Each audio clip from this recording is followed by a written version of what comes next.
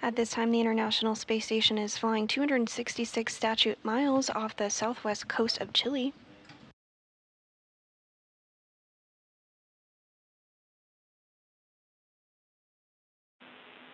Station Houston, all hooks open.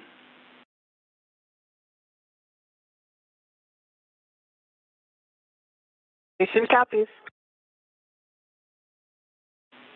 Dragon separation confirmed.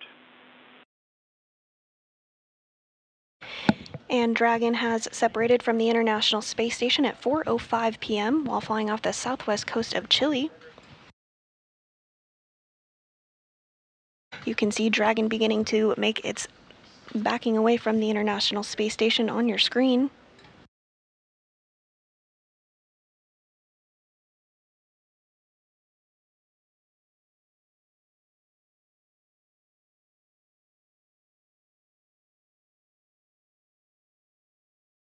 And the very first of the departure burns, called Departure Burn Zero, went off without a hitch, everything continuing to go really smoothly.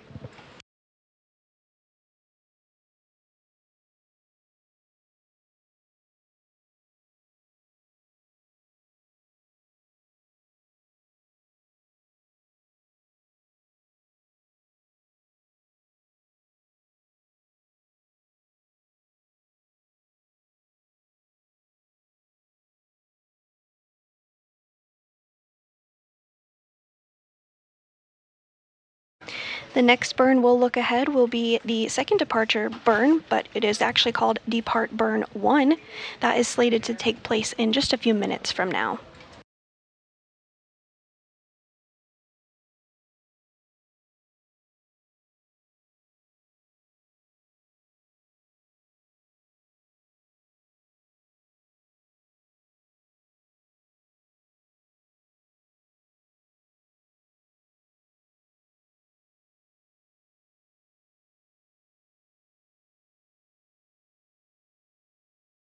And if you're just joining us, Dragon has just recently, minutes ago at 4:05 p.m. Central, undocked from the International Space Station.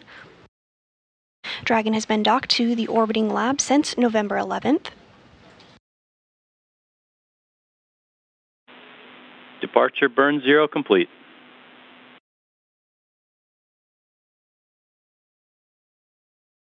Copy. Departure burn zero complete. Great news.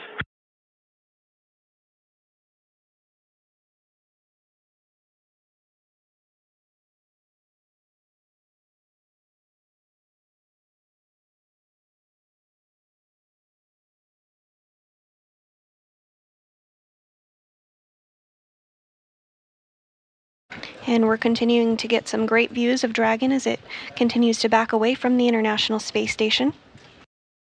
The next major milestone we'll look towards is when it exits the Keep Out Sphere, which is that imaginary 200 meter radius around the International Space Station.